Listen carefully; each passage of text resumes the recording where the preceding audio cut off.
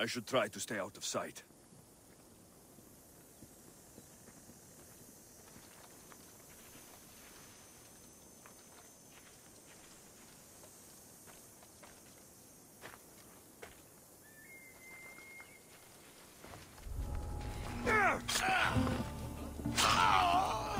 You! I've been searching for your bloodline, and you come straight to me!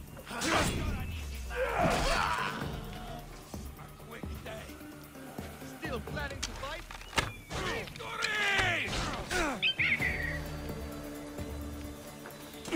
We need to stick together.